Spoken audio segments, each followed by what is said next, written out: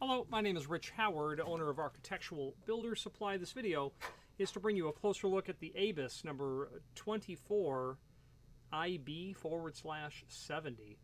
This is a what they call a discus uh, lock. We call it a disc style padlock.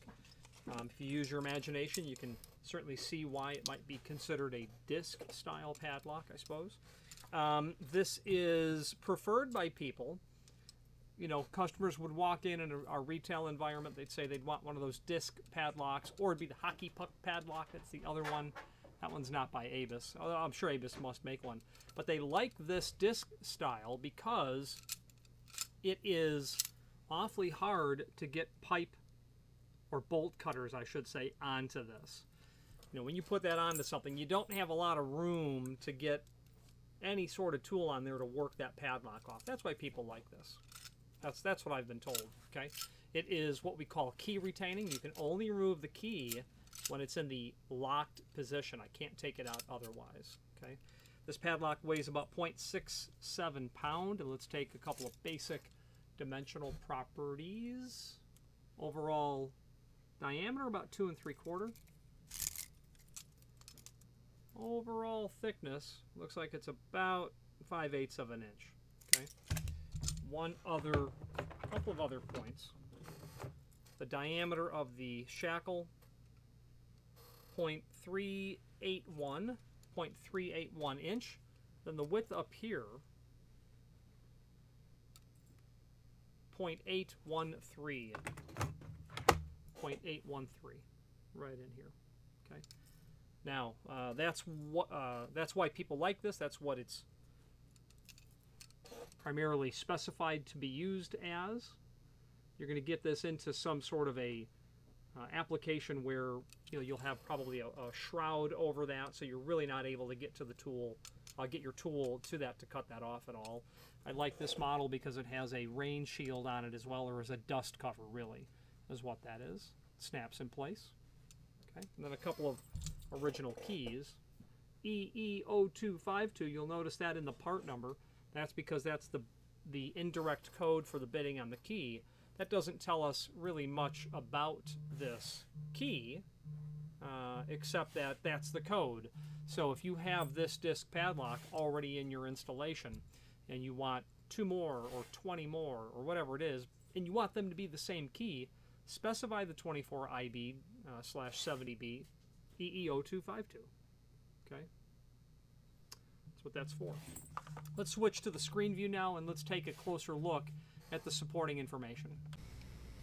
If you are enjoying this video, please click thumbs up or like, and also please consider subscribing to our channel. Let's move on to the rest of the video. Okay, here's the item that we are indeed looking at. Uh, there's our padlock. Some factory images here, made in Germany, it's also going to tell you that it's on the back side, uh, which they don't have a picture of, stainless precision, stainless precision, 360 degree protection. And that's where they're really coming from. Something like this, you can't get your tool down to that. Okay, we've made that point abundantly clear. Let's look at some images that we have taken. There's the box. That's what's in the box. Let's look at just a few more.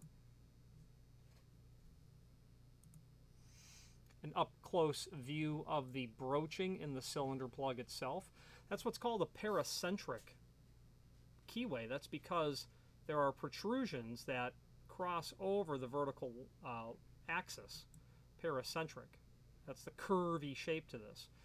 That's an ad ad advantageous feature to broachings and cylinders, it's a little difficult, pardon me, it's a bit more difficult to manipulate that. If you looked at a Yale catalog from the 19th century, they did not have much in the way of paracentric keyways. In fact, their feather key was just a flat uh, type key, the very, very early in the pin tumbler lock era, uh, Civil War time, you know, just after the Civil War, in fact.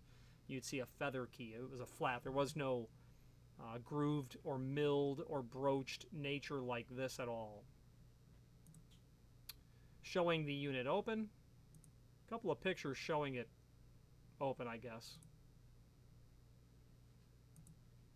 The backside, stainless precision, 360 degree protection, ABUS, that is a German company. And there are your two keys. Being a German company, what does that really mean? Um, I don't know. I don't know what that means exactly, but when I think of European lock manufacturers, they have a dizzying array of high security cylinder platforms. The Europeans have taken, in the United States, we have secure, patented, restricted, protected keyways, key systems, Medeco, Schlage, Sargent, Corbin Russwin, Yale, every major manufacturer has it.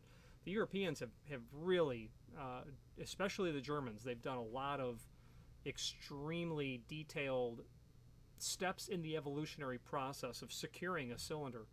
So much to the point where I think, I wouldn't say they've overdone it, but their engineering allows them advantages at a certain level that you may or may not be able to actually justify. That does allow them to stand at the top of a of, of a pinnacle of, of having the most advanced keyways. It was Dom, another manufacturer who had a movable element, and that patent was is a few decades old. Just a brilliant design. Um, you're really not going to be picking those locks open at all. Uh, and uh, needless to say, ABUS will have security keyways as well, really preventing you from duplicating key blanks. And that's the crux of the matter. If you can't get your hands on the key blank, you're probably not going to be able to cut the key blank. And if you can't otherwise fabricate one uh, because it's too complicated, and that movable element is there to thwart 3D printing. And when DOM had a movable element, it was well before any era of movable elements. And fast forward to the year 2021 or 2020, um, that movable element's been introduced into a Medeco, their Medeco 4 platform. And again, meant to thwart uh, 3D printing. Well, back to the task at hand here. Extended description information. All round security, the discus lock is a special form of padlock with extra advantages. The shape of the discus lock provides effective prote protection against the most common ways of gaining entry. The design of the small shackle opening means that there's hardly any space for attacks on the shackle. Uh, it's made of primarily stainless steel. It's used particularly where security and protection against corrosion are required. Trucks, doors, gates, barns, cellars, sheds, etc. can all be locked with this. Should ideally be used with the ABUS Discus hasp so that the lock shackle cannot be attacked with tools. And then again, that image that we had right here shows it pretty well. It's a pretty pretty smart layout that they have there. Extended description information. I'm just scanning it to see if there's anything that we've not spoken about. Weather resistant, key retaining we talked about. In the world of padlocks, there are levels. This is a level 8 that is fairly high on the level list.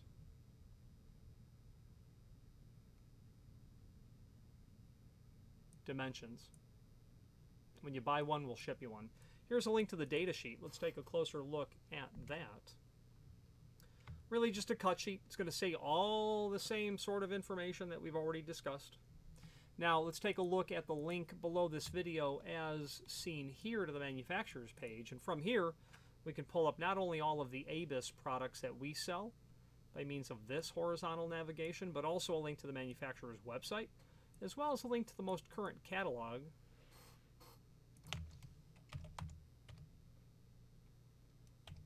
They do have their discus material here. If you caught that on the cut sheet, they did list other sizes. And here's how the part number changes 50, 60, or 70. I would imagine that's got everything to do with millimeters, would be my guess. Um,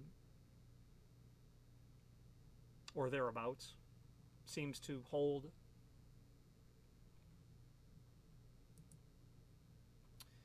Uh, other information is going to obviously be uh, in the catalog regarding this material. I think it's a pretty handy sort of document so that you can review all things ABUS security, a name that's been associated with padlocks for, cent for centuries, for decades for sure.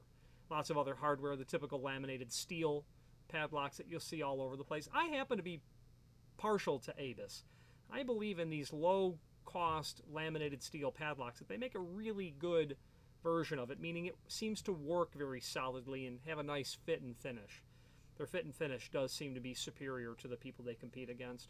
You know, padlocks are something that people don't give a lot of thought to, but they're very much a part of process control. Controlling who has rights and privileges over things other than doors. You know, process control equipment. In this case, um, obviously being able to attach multiple locks to a given unit, so multiple people have to provide uh, authorization to get through that. Other ways to lock material up as well. You know, you can see an example here. You've got these two valves. In order to get those valves turned, you've got to have four different keys, presumably four different people to all agree to open those valves. Not a lot of people have these types of solutions. So if you're dealing with an industrial control, manufacturing control, you're looking for ways to lock some of that stuff, maybe dive into this. Um, because they, they have a lot of, they have solutions, that's for sure. Uh, just scrolling through, now we're into the more generic uh, padlocks, brass body padlocks, combination padlocks, etc. Hasps are down here.